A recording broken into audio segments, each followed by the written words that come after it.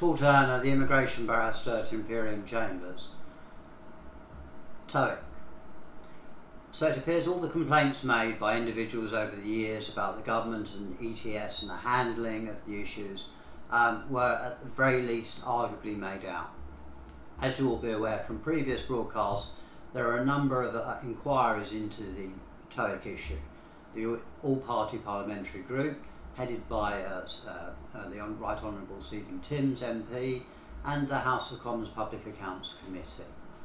On the 18th of July 2019, the APPG published their report. It makes a damning reading and I feel very sorry for all those that are, have been affected by the um, uh, Home Office's refusals. I intend to go through the summary of the report. Um, if I was to go through the report in its entirety, it would be a very long broadcast. Most of you would have fallen asleep, by the way. I've got halfway through. That's because the report is so damning. I could retype parts of it or extracts from it, but I don't think I will because I don't think that would serve any useful um, purpose. What I will do is I'll look at some of the summary of the findings and uh, perhaps explain um, why, as a practicing practitioner, um, I find it quite frustrating. The first finding was that the um, all-party uh, group found that there was fundamental flaws in the evidence. Apparently, all the experts agreed that the evidence provided by ETS, to the Home Office, was questionable, and that all but one agreed that it would contain fundamental flaws that should make it impossible um, to take decisions um, on that evidence alone. But that's what the Home Office did, causing thousands of people misery. They also disregarded huge numbers of anomalies in the results. Questionable students were supposed to be given an opportunity of taking a new test. Apparently, for uh, a lot of people that never happened. They were never given the opportunity. God knows why, but it didn't happen. Um, thirdly, the Home Office consulted experts confidentially in 2014 but ignored their advice. In August 2014, after thousands of students had already had their visas cancelled, the Home Office convened a confidential meeting with experts. Um, all the experts agreed that the voice recognition software and the evidence was not good enough.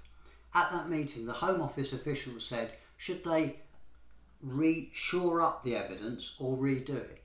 Now, if I was representing an appellant and, and, the evidence wasn't good enough and I was suggesting to redo the evidence um, or, or, shore it up, um, I would be very careful uh, as to my professional obligations. But the Home Office didn't bother to do that. What is clear, says the report, is that the Home Office was content to use the evidence that they suspected was not reliable to revoke the visas of tens of thousands of students and forcibly remove thousands of students from the country. It's on almost on a par with Windrush, in my opinion, despite every expert at the meeting represent, requesting more information in order to reliably assess the evidence that had been provided. Furthermore, the Home Office established a support group, and the purpose of this support group was to allow students who'd had the college's licences revoked to re enrol. It wasn't headed by somebody that was independent, it was headed by Peter Millington. Now, a lot of people that have practiced will have seen Peter Millington's name often. He's one of the people that wrote one of the witness statements that the Home Office rely upon in all the um, TOEIC appeals. Yet he was also supposed to be helping students um, obtain new colleges. When the students asked him to sort of like put their concerns towards the government and deal with this issue, what actually happened was um, Mr. Millington said that he refused to sign the letter on the basis that he couldn't write such a report to his boss. Those were his words. Uh, I've quoted them. Um, the Home Office also failed to look at anomalies in the evidence. Despite mounting evidence of a large number of uh, anomalies, the Home Office just refused to investigate. They were quite happy to rely on the questionable evidence and rely on the evidence that uh, clearly has not stood up to scrutiny.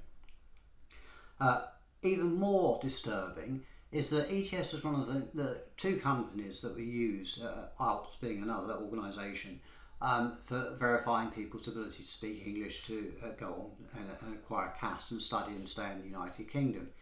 ETS was the other. ETS, uh, so the uh, group concluded, um, was effectively a company that was described as being a shambles. That in itself is damning and shows that the Home Office clearly didn't investigate ETS or its internal mechanisms properly. Um, fi- uh, penultimately, students that have won their appeals, that have suffered for years since 2014 and have finally had their names cleared, have still not been able to enrol upon uh, courses and finish their education. An individual that, say, enrolled upon a master's degree in 2014 and then had their visa cancelled and now wants to re enrol has had problems, partly due to the fact that there's this five year interregnum um, before this problem has been sorted out. And lastly, and most disturbingly, is the financial, emotional, and ruin to many thousands of families that have either had the choice of going home um, and not clearing their name, or alternatively remaining in the United Kingdom and living off savings, borrowing, begging money, whatever they've had to do to survive. Um, this report, I mean, there is another report coming. This report shows that this is uh, an absolute scandal of the highest. Um, well, as I say, it compares, in my view, to the, the Windrush scandal. Um, the APPG put out some recommendations in respect of TOEIC um, that there should be no further uh, detentions or forced removals based on account of TOEIC. People who lost their visas because of ETS accusing them of cheating should be allowed to sit a new English language test.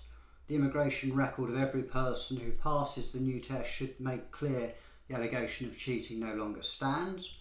Higher and further education institutions should be advised that the TOEIC allegation and related issues in students' studies should be wholly disregarded, and a working group should be established to support students.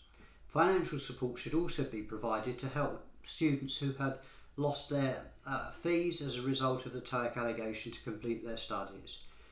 And finally, they recommend that the Home Office should work with the High Commissions in relevant countries, including Pakistan, Bangladesh, and India, to ensure those who have returned home or been forcibly removed are informed about these arrangements, thus giving them the opportunity of coming back to the United Kingdom. I hope this has been of some use. I will further update um, on the Public Accounts Committee report once that is out. Um, but at the moment, uh, that's all I can really say on the matter. Um, this has been Paul Turner, the immigration barrister at Imperium Chambers.